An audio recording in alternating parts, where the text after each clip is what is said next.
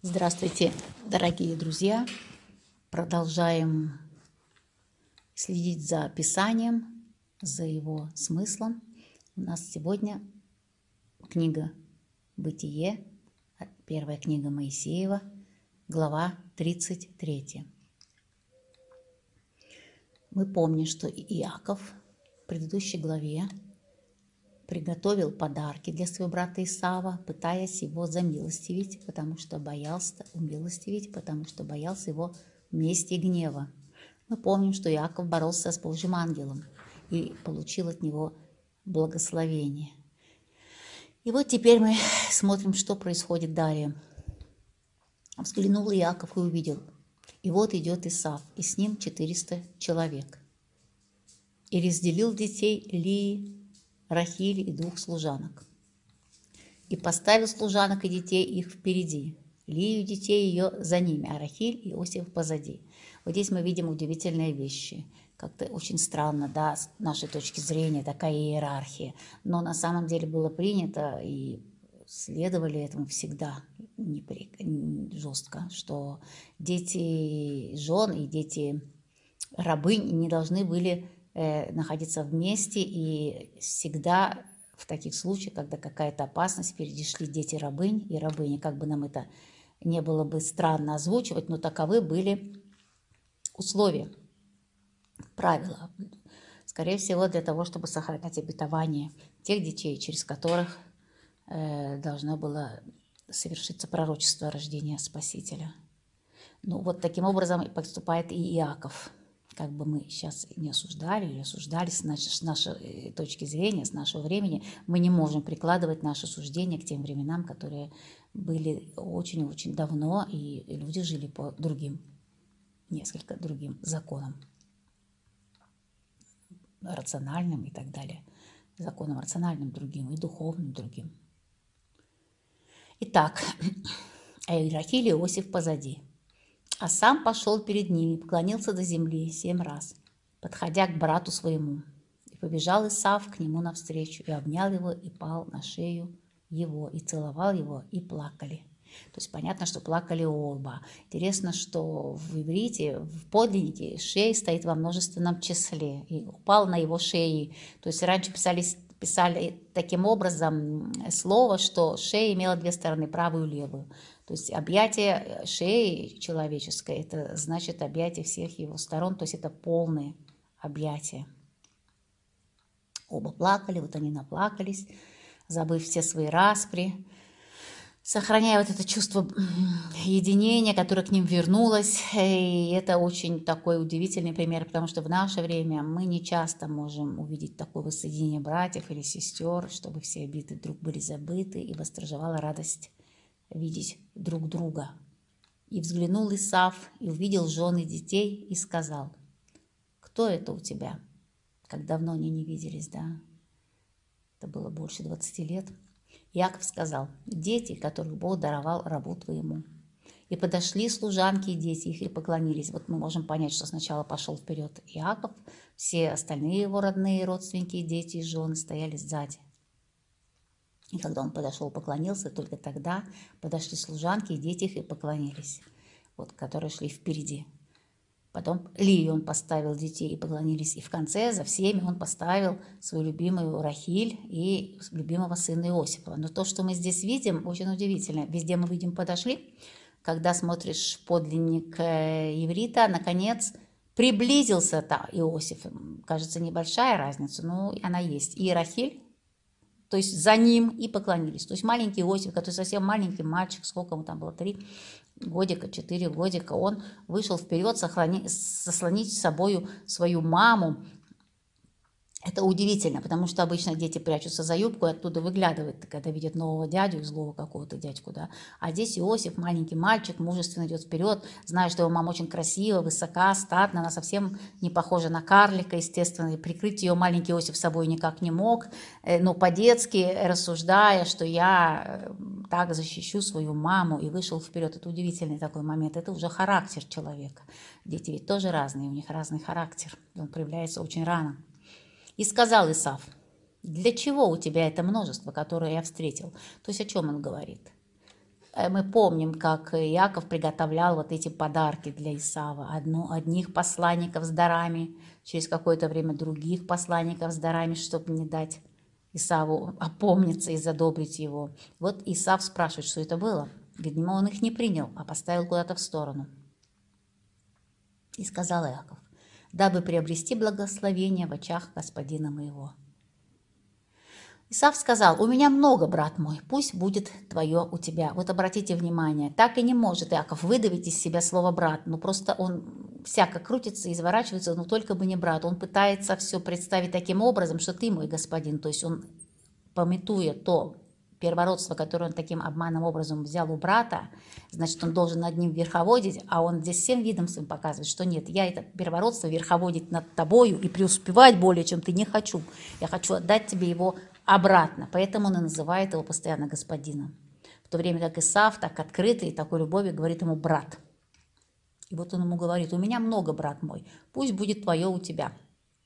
То есть Исав, конечно, тоже не бедствовал, и Бог его тоже дарил многими достатками. Иаков сказал, «Нет, если я приобрел благословение в очах ты, прими дар мой от руки моей, ибо я увидел лицо твое, как бы кто увидел лицо Божие, и ты был благословен ко мне». То есть э, Иаков всячески пытается выкрутиться, не зря у него имя Иаков, как уже в свое время сказал Исаф в сердцах. Иаков, который все время боится, преследует или прячется, или изворачивается, это значит его имя – вот, пытается где-то вывернуться, э, удобно устроиться, что-то такое. И вот он пытается от страха и от того, что он все-таки еще, видимо, в душе своей не отпустил это состояние вражды с братом, боится его, значит, нет еще любви открытой, он пытается все-таки этот дар донести. Еще здесь важно, что почему он этот дар пытается донести. Он это благословение, которое у него практически украл, не благословение Авраама, конечно, это он никому не отдает, оно с ним, и он не зря назван Израилем, человеком, то есть это тот, кто ходит перед Богом, тот, кто говорит с Богом, тот, кто слушает Бога, Израиль. Израиль. Но он пытается то благословение на первенство, как я уже сказала, на то, чтобы поклонялся старшим младшему, младший старшему, теперь он хочет это дело исправить и говорит, что я теперь младший, как и был, и хочу поклоняться тебе как старшему. Возьми назад это благословение старшинства братьев и благополучия земного. И прими от меня благословение мое, которое я принес тебе, потому что Бог дарил, даровал мне, и есть у меня все, и упросил его, и тот взял. То есть он говорит о том, что и лицо твое Божье, я видел как лицо Божие. Что это значит? Некоторые Митраши толкуют, что вот тот ангел, с которым он боролся, был ангел Иосава. Но здесь на самом деле видно э, некоторый иной смысл, если смотреть все толкования и подлинник иврита древнего. Речь идет о том, что то, что я тебе даю и хочу с тобой примириться, это в этом есть благословение Божие. В этом я вижу лицо Бога, в этом моем поступке. И в том, что ты примешь от меня этот дар прощения, дар Э, благословением. И он упросил, как он везде это, в общем-то, умудрялся делать, и получил э, прощение от брата, то есть явное он принял его дар, то есть это как знак примирения. И сказал, Исав сказал, тут не написано, но мы понимаем, что Исав. И сказал, Под, поднимемся и пойдем, я и я пойду пред тобой. Исав хочет его сопроводить. Кажется, какая-то тут такая подстава, да, хитрая. Но на самом деле Исав, как старший, пришедший встретить брата, причем это его уже территория. Он обязан и, и по закону э, старшинства, в данном случае, который вот ему возвращает брат Яков. И по законам гостеприимства он должен его проводить. Здесь нет ничего особенного, здесь нет какого подвоха. Но Яков боится и видит в этом уже не очень добрые для себя знаки. И Яков сказал ему, господин мой, знает, что дети нежны, маленькие дети у него, да, и мелкий и крупный скот у меня дойный, то есть если погнать его один день, то помрет весь скот, да, потому что там дорога была дней 10 пути, но вот с такими детишками, с котом, с дойным, с козочками, это где-то занимало лет, э, простите, дней 20 этот путь. И гнать его, конечно, этот скот невозможно было. Пусть господин мой пойдет впереди рабат своего, а я пойду медленно, он все называет себя рабом здесь. То есть я на втором плане, постоянно подчеркивает, я на втором плане. Возьми обратно свое благословение, которое я у тебя отнял на первенство. Именно на первенство, не, на Авра, не Авраамова благословение, а благословение на первенство между братьями. Пусть господин мой пойдет впереди раба своего, а я пойду медленно, как пойдет скот, который предо мною, и как пойдут дети, и приду к господину моему в Сеир. Ну, Сеир переводится как некоторая шероховатость, горная местность, это такой соп, сопчатая горная местность. Исав сказал, оставлю я тебе несколько, несколько из людей, которые при мне. То есть здесь мы видим, что намерения Исава, конечно, не были враждебны, иначе бы он не открывал вот эти вот всех своих людей, которые с ними. Э, и, может быть, прятал бы, может быть, старался бы напасть как-то из-под тяжка, но он этих людей никуда не прячет. Он говорит, давай тебя сопроводим для уверенности, что все будет с тобой хорошо, потому что у тебя много детей, много скота, и мы тебе поможем дойти. И Аяков сказал, понимаем, что он этого, конечно, совсем не хочет. Если он возвратится с Исавом, то он будет под Исавом, как он себя сейчас и рекламировал, будучи вторым братом младшим. И он этого не хочет. Он отдает свое благословение на старшинство, но быть в подчинении, под, жить под Исавом, конечно, он не хочет. И он ему так мягко и настойчиво и опять говорит – к чему это? Только бы мне приобрести благовение в очах господина моего. И возвратился Исав в тот же день путем своим в Сиир. То есть то место Месопотамии, где он и проживал в языческих вот этих вот районах. Эта фраза, кажется, ничего не значит, но она очень важна. И возвратился Исав в тот же день путем своим в Сиир. Вот когда мы видим в Писании, говорит Равин, говорят толкователи, вот это выражение «в тот же день», оно значит очень много. Это значит что-то существенное вот сейчас происходит. Надо сразу насторожиться и понять вот эту фразу, что здесь существенно. На первый взгляд совершенно простая банальная фраза. «И возвратился Исав в тот же день путем своим Сиир». То есть этот момент – это тот же день, когда мы много раз встретим в Писании, кстати, выражения, и сразу надо насторожиться. Здесь о чем-то очень-очень большом говорит нам Писание.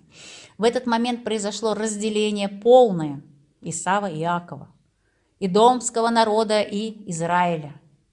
И всегда потом будет проложено и соперничество, и вражда и между идомитя, идоминянями, идомитянями, жителями Идома, так, наверное, будет э, лучше сказать, и израильтяне. Это очень исторический и существенный момент. А Иаков двинулся в Сокхов и построил себе дом. То есть это стоянка. Сокхов – это стоянка, сукот по-еврейски. Это, это промежуточная стоянка, он еще не дошел до того места, куда идет. И построил себе дом. То есть дом, то есть шалаш, естественно, имеется в виду. Для кота своего сделал шалаши тоже, для себя шалаш для своей себя, прислуги, жен и для скота. Стоянка может занимать достаточно времени на самом деле. От всего нарек имя месту Сокхов, Сок, Сокхов, Сукот, еще раз по-еврейски. То есть это шалаш, вообще-то переводится, шалаш. Почему вдруг нам Тора говорит о какой-то стоянке Якова, когда он сделал их массу за эти 20 дней? Э, а тут нам вдруг говорится. Потому что есть такое место Сукот, которое до сих пор сохранилось. Это один из вход, входа, один из всех входов в Израиль, в Иерусалим, в Израиле. То есть это очень важное место. Вы видим здесь, что Иаков возвращается из своего первого изгнания, скажем так, Израиль возвращается из своего первого голота изгнания на свои земли, обетованные ему Богом. Поэтому здесь и говорится об этой стоянке, и она до сих пор есть, и это место. Иаков, возвратившись из Месопотамии, благополучно пришел в город Сихем, который в земле ханаанской. Да? Вот он интересным образом пришел в город Сихем. ну, Сихем переводится как плечо. Плечо, вот опора, на чем держится голова, практически плечо. Вот здесь очень интересный момент – Смотрите, куда он пришел. Да? Он пришел в город Сихем, который земля Ханаан, Ханаанской, да, э, обещанной земле Ханаанской, и расположился перед городом. И купил часть поль, на котором раскинул шатер свой у сынов Эмора. Эмор – это по-еврейски осел. Но в данном случае это имя человеческое. Отца Сихема, опять Сихем, плечо. За сто монет Сихема мы еще увидим этого героя много раз. Поэтому вот этого э, Амора Сихемовича тоже увидим за 100 монет. 100 золотых монет – это большое-большое большое количество денег, в общем-то, на них можно было очень долго и безбедно жить. Что здесь удивительного, как я сказала, в этих вот повествованиях? Он не пошел туда, куда ему надо было идти. Да. Куда ему надо было идти? Помните, что он обещал э, э, Господу, когда он видел лестницу и так далее, еще едя в свое изгнание? Что он пойдет, что Господь ему сказал, и он пойдет в город Бейтем и возложит жертву Богу, если тот сохранит его на его пути. Вот он совершил этот большой путь, вот он преуспел, вот у него жены, дети, вот у него много скота, но жертву Богу в Бейтеме он так еще и не принес. И даже не пошел в Бейтем. Более того, странно, мы видим, что он не пошел э, э, к отцу своему, в, э, Херон, Почему он туда не пошел? Вот это удивительно. Тора об этом не говорит. Не зашел ни к отцу, не пошел не принести жертву своему небесному отцу, а пошел в свои места, где он был ранее, а сел там и поставил жертвенник, даже не установил его, не посостроил, а просто поставил камень и, и призвал имя Господа, Бога Израилева. То есть он здесь говорится, что это Богу жертвенник, который назвал меня Израилем. Вот то, что совершил здесь Иаков, и некоторые толкователи говорят, ну, может быть, Тора нам не говорит, как он пошел в Херон, Хеврон к своему отцу, может быть, не говорит э, эти моменты, но на самом деле Тора не стала бы излагать, как говорят комментаторы, это я не от себя говорю, конечно, такие подробные моменты, не упомянув очень значительные вещи. Там еще мать его была жива, да, Ривка. И когда он вот так сделал, забыл как бы про жертву Богу и не пошел к отцу, он получит этот, э, после этих событий очень много разных страшных-страшных трагедий, которые придется ему перенести. Мы всегда получаем за наши поступки, даже в которых мы раскаялись, обязательно идет шлейф того, что называется нашей жертвой за наши поступки. Но здесь мы видим, что поставил Иаков жертвенник и призвал имя Бога, то есть у него состояние покаянное, но вот раскаивается в том, что он не пошел в место, куда ему надо было идти, да, куда он обещал пойти, Бетем, и там поставить э, Богу, дать Богу жертву, и не пошел своему отцу, это он, конечно, будет иметь большие-большие последствия, как и все мы имеем последствия от, наших, от нашего поведения, от наших грехов, от наших заблуждений. Когда мы раскаемся в них, это еще не значит, что мы приблизились к Богу. Нам обязательно надо принести дар – это чистое свое сердце, это какие-то действия, которые соответствуют нашему раскаянию, какие-то изменения в своей жизни, какие-то выводы. Если мы этого не делаем, то Бог не приближается, это об этом говорит Тора. И Он ждет, пока мы не совершим эти поступки, пока мы не очистимся какими-то э, делами, вещами, и когда делами, в смысле материальными, духовными, и когда мы, наконец, приносим эту жертву Богу, тогда Бог с нами. Поэтому, когда мы сейчас претерпеваем, например, такие тяжелые, страшные времена, это можно воспринимать как приближение нас к Богу. Именно жертва какая? Терпение, смирение, милосердие к ближним, поддержка друг друга, раскаяние в своих э, ошибках, заблуждениях, в том, что мы постоянно занимаемся идолопоклонством, что бережем маленького башка под подушкой, который на всякий случай у нас. И тогда только Господь слышит нашу молитву и приблизится, и смягчит свое действие и руку свою уберет, карающую, наказывающую, и даст милосердие, покой для того, чтобы мы передохнули, славили Его и пришли в новый путь э, к Нему и шли этим путем к Богу. А этот путь узок, как говорит Христос, и очень немногие идут им. Большое вам спасибо. Всем мира, радости и здоровья. Обнимаю. Итак, мы продолжаем перечислять, освещать перечисление того дара, того дара благословения, дара примирения, которое э, посылает брат своему Иаков. И мы говорили о том, что это были козлы, овцы, овны, Теперь мы видим, что это верблюдицы с, жер, э, с жеребятами, 40 коров, 10 валов, так как валы работают гораздо больше, и вообще они много работают, и, не так, как, например, э, овны и козочки и козлы. Поэтому, видите, им на 10 валов дается только 40 коров, которые они могут покрыть. То есть один такой вол работающий может покрыть 4 коровы, на больше у него просто вдохновения не хватит и романтики. 20 ослиц и 10 ослов, то же самое мы видим, что ослы работают много. Это очень-очень ценное животное для Израиля было и благословенное животное. Мы видим, что она даже в пророчестве участвовала именно на ослике. Христос, Господь наш, въехал в Иерусалим, как и было предписано пророчеством.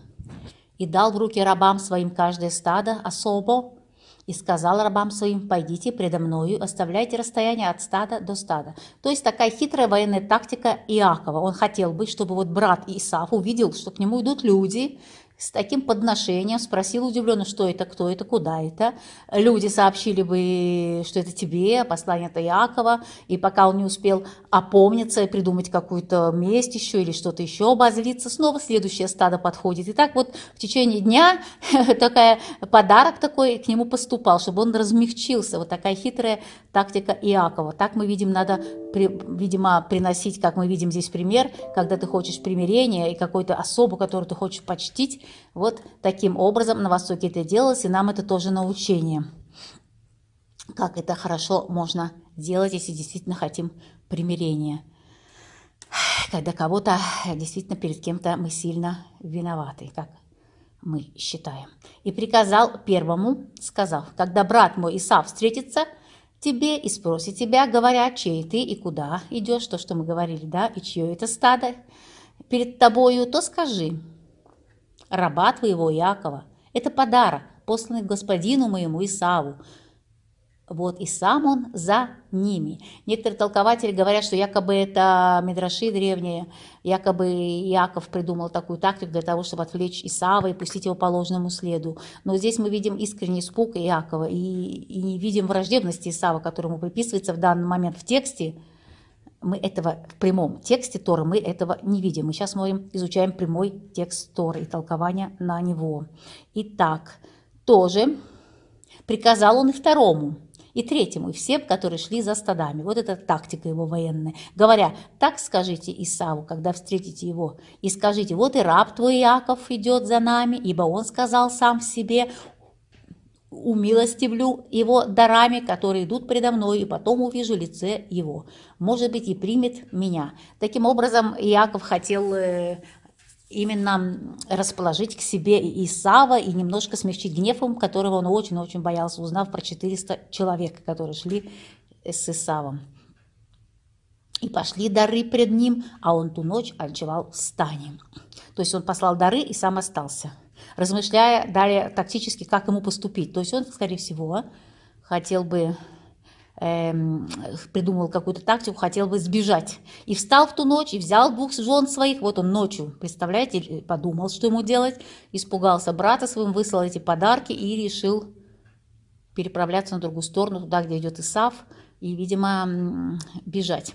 И встал в ту ночь, и взял двух жен своих, и двух рабынь своих, и одиннадцать сынов своих, и перешел через Иавок, брод такая речка Иавок, э, где же у нас, кажется, Дина, должно быть 12, но Дина была маленькая и, видимо, была на руках у матери, естественно. Брод через такую реку маленький ребенок, там, двух-трех лет перейти не может.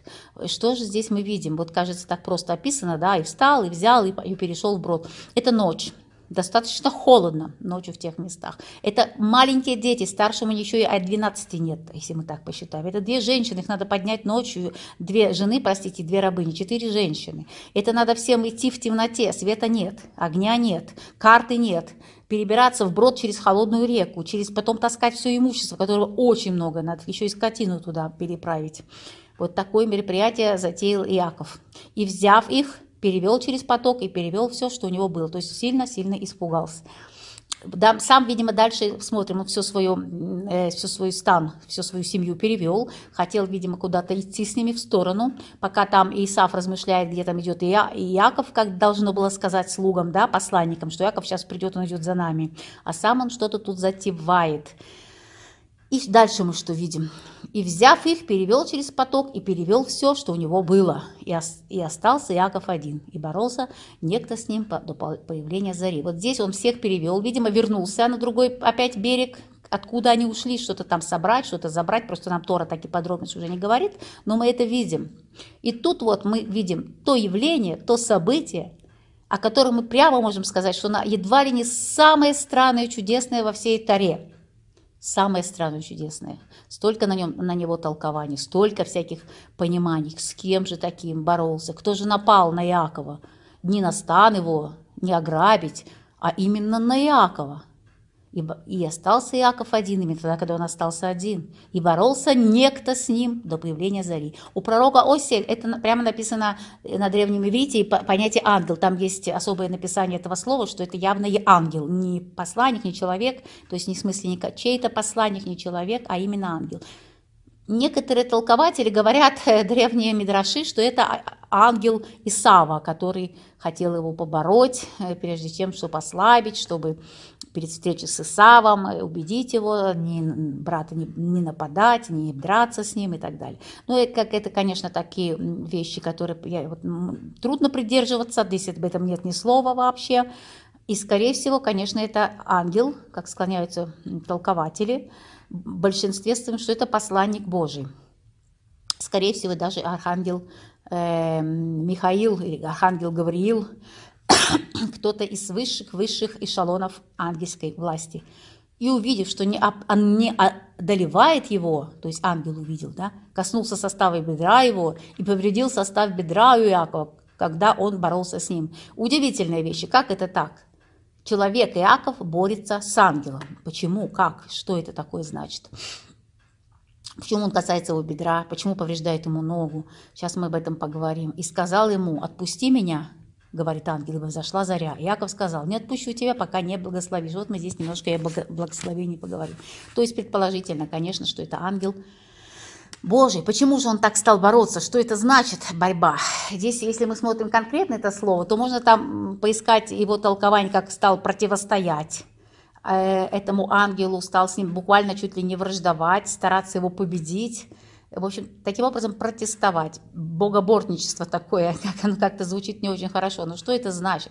Во-первых, это значит то, что Господь посылает Бог Иакову испытания с которым он должен бороться. Потому что Господь всегда нам посылает испытания, предполагая, что мы с ними должны бороться. Не, конечно, не с самим Богом, а с теми испытаниями, что и есть воля Божья. Мы должны бороться с этими испытаниями. Что мы можем здесь видеть, как толкуют толкователи Мидраши, что этот ангел, который пришел Якову, остановить его, чтобы он никуда не бежал. Воля Божья была в том, чтобы он встретился с, со своим братом с Исавом. И поэтому, видите, мы видим, что он даже повреждает бедро, как символ того, что никуда ты не пойдешь, никуда ты не иди. Это как объяснение Иакову следующего. Ты не тому, не тому и не для того принес подарки умести, у милостивления. Не человеку, не Саву ты их должен был приносить, а Богу. И Господь тебя ведет, Он тебе дал обетование. И вот таким образом Иаков был предупрежден и остановлен – для того, чтобы от того, чтобы бежать от встречи Исава и чтобы приносить ему подарки. Подарки приноси жертвы своего сердца, так скажем, уместивления для Бога. Здесь мы видим, как Иаков был остановлен ангелом волей Божьей. И сказал ему, ангел, так понимаем, да, отпусти меня, ибо взошла заря, вот здесь очень много толкователей расходятся, целые тома написаны толкования, причем здесь заря, куда ангел так спешил. Некоторые пишут, что на заре все ангелы поют хвалу Бога, Богу, но мы можем представить, что Земля имеет разные часовые пояса, да, и где-то уже ночь, а где-то день. Некоторые начинают э, говорить таким образом, что в небесном Иерусалиме столько же времени, сколько в земном. Но на самом деле мы смотрим, конечно, Тору и прямой ее смысл, то, скорее всего, именно на заре Якову надо было идти. И ангелу было не попущено что-то плохое делать с Иаковом. Его надо было именно остановить и наставить, и дать ему новое обетование. Какое новое обетование? Вот касающееся того обетования, что ему уже дал Господь через отца, э, его через отца и деда, Авраама, да, Исаака, подтвердить это обетование именно Иакову. Мы же видим, что в Писании больше всего нам дается рассказы именно об патриархе Иакове. Это очень значимая ключевая фигура. Он как идет аллюзия и на Мессию, мы видим его исход. Вот этот вот исход его сейчас, когда он встречает ангелов и останавливается на этом месте, это очень большая э, параллель, аллюзия, еще раз скажем, выхода из Египта, будущего выхода из Египта всего еврейского народа, как он был выведен из Египта, как он э, был спасен э, Господом Богом. И таким же образом мы видим параллель, как Иаков выходит и бежит и от Лавана, даже в предыдущей главе, да, и как он бежит от Лавана, и как Лаван его настигал, как это делал и фараон, и как фараону э, было э, во сне, да, доложено через три дня, что сбежал, не во сне, а его прислугой доложено через три дня, что сбежал еврейский народ, так и Лавану было сказано, что он обнаружил, да, что нет у Иакова, он сбежал, и такой же погоню мы видим, и ту же остановку мы видим, то есть здесь есть прямая параллель. Вот, как э, э, бегство Иакова от Лавана. И вот сегодняшнее сейчас, то, что мы видим, борьба его с Богом, для чего? Для вступления его в новую миссию обетования. Какую? Вот сейчас мы это и озвучим. И таким образом, очень удивительно, говорит, отпусти меня. Тот его не мог побороть. Почему не мог? Господь не давал ему э, разрешения, повеления, повеления, чтобы он что-то делал с Иаковом. Потому что ангел исполняет только волю Божью. Иаков должен быть остановлен и этот символ, то, что настановлено, было повреждение сухожилия бедра. Есть такое сухожилие у бедра, связка. И, и мы дальше увидим, что с этим сухожилием происходит до сегодняшнего дня. И то, что хромать стал Иаков, это тот, та хромота, которую Израиль имел всегда. То к язычникам, кто к Богу, то к идолам, кто к Богу. Это хромота. То слушает Бога, а то не слушает. Вот такая хромота, она символически осталась у Якова, будущего Израиля, который сейчас мы увидим это наречение нового имени. И сказал, напусти меня, ибо зашла заря. То есть должно быть новое обетование вступать в силу. Яков сказал, не отпущу тебя, пока не дашь благослови, пока не благословишь меня. То есть вот оно благословение. Какое? Что такое благословение? И вот он ему дает благословение здесь и сказал, как имя твое? Он сказал, Иаков. Какое здесь благословение? О чем здесь идет речь? Речь идет о том, что, дорогой Иаков, ты все, что ты получаешь и получил от меня, как от Бога, и будешь получать теперь, это все будет доставаться, добываться тобою в поте лица. То есть теперь уже ничего такого, чтобы ты получил какими-то хитрыми путями, какими-то изворотливыми действиями, как и говорит об этом имя Иаков, да, все время что-то перехитрить, где-то что-то такое добыть, найти. Тяжело ему все это давалось. Но вот он так старался добыть то, что считал необходимым для себя добывать. Вот с этого момента дается благословение, то, что ты будешь идти путем Господним и добывать все будешь теперь поте лица. Ну, такое благословение, правда же, не каждый захочет, но это благословение именно. И таким образом все, что ты будешь добывать, теперь будешь делать во славу Божию и в поте лица. Поэтому сейчас ему и будет дано новое имя. Не Яков такой ловчий, да, такой, знаешь, губа не дура, такой проныра, так скажем, хитрый. И вот спрашивает его вдруг ангел, и сказал, как имя твое? Какое благословение, кстати, хотел Иаков получить? Он хотел подтвердить то благословение, которое он украл. Ему нужно было его получить именно из уст э, посланника Божьего. Он его хотел, его подтверждение, для того, чтобы быть более уверенным в себе, что именно Бог не оставит его на его пути, что он идет именно с благословением неукраденным. И вот ангел вдруг его спрашивает, а сказал, и сказал, как имя твое? Вот удивительно, неужели Господь Бог, посылая ангела, да, своего посланника, не сказал ему, как зовут, кому, имя, фамилия, паспорт. То есть все, конечно, сказал Яков Исакович, да, но не для того спрашивает ангел, что он не знал. Это часто такая вот э, манера разговора, когда ты, ну, в общем, ты, ты кто? Такой-то, а вот теперь будешь таким-то. Вот ты кто? Такой-то? Он отвечает, да, я Яков. И сказал ему, отныне имя тебе будет не Яков, а Израиль. То есть Израиль, как мы говорим, да. Вот. Что значит Израиль? То есть толкований на это имя много. Ибо ты боролся с Богом, и человеком одолевать будешь. То есть это как борющийся с Богом можно перевести. Э, побеждающий, одолевающий, сопротивляющийся. То есть борющийся не самим Богом, конечно, как мы уже сказали, а с теми трудностями, с теми испытаниями, которые дает Господь Бог каждому человеку. И этого от нас хочет Бог. Бороться с ними мужественно, не теряя вектора, направления к Богу. Постоянная вертикаль, вот как та лестница, уходящая в небо и касающейся земли. То есть земля – это мы, но наш настрой, наша вертикаль всегда в небо. Теперь ты будешь Израиль. Ибо ты боролся с Богом, и человеков одолевать будешь. То есть люди пойдут за тобой, и ты будешь праотцом многих-многих людей, которые будут добывать свой путь к Богу через постоянное страдание, сопротивление и борьбу с теми, э, для нас они, может быть, и неприятностью, но это лекарство с теми, с той э, посланиями, которые дает нам Бог, с теми трудностями, которые мы обязаны преодолевать. Спросил Иаков, говоря, скажи мне имя твое. Очень интересный момент. Я целую работу, честно говоря, на эту тему писал по этой только одной строчке. И он сказал, на что ты спрашиваешь о имени моем? Оно чудно нет в подлиннике. Это Септуагинта приводит. Знаете, что такое Септуагинта? Кто не помнит, посмотрите в гугле, пожалуйста. И благословил его там. То есть не скажет, зачем ангела спрашивать? Я только посланник, у меня имени для тебя нет. Мое имя – это я посланник Бога. Поэтому имя мое ничего для тебя не значит. И более того, Господь, если даст свое собственное имя, всегда даст сам. Спрашивать его, никогда он тебе не скажет. Потому что имя Бога – это значит его действие. А действие Бога, действие Бога, он говорит сам человеку, а не когда тот любопытствует.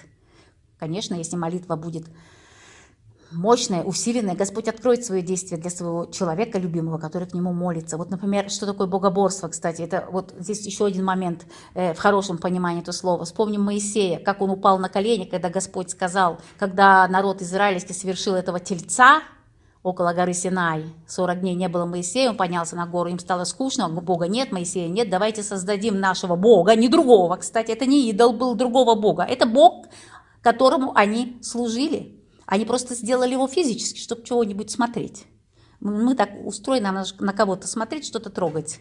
И когда Бог разгневался и сказал, что я уничтожу весь этот народ, а от тебя, говорит он Моисею, произведу, произведу новый народ.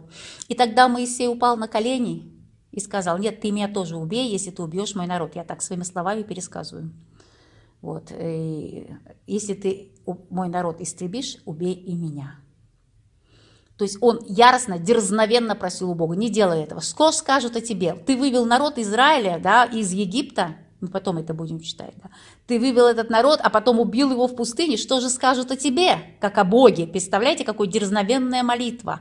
Это противоборство Богу. Но Бог любит это, потому что праведник Моисей не за себя просил, а за весь свой народ. Мы это много раз еще будем видеть как Христос об этом же говорил, да, как просил Павел, посланник и апостол Христа, лучше ты меня сотри из книги жизни, если ты не, не стираешь весь мой израильский еврейский народ. Это высший праведник, который вот таким образом противоречит Богу дерзновенно, не в себе во благо, а за весь свой народ готов пожертвовать собой.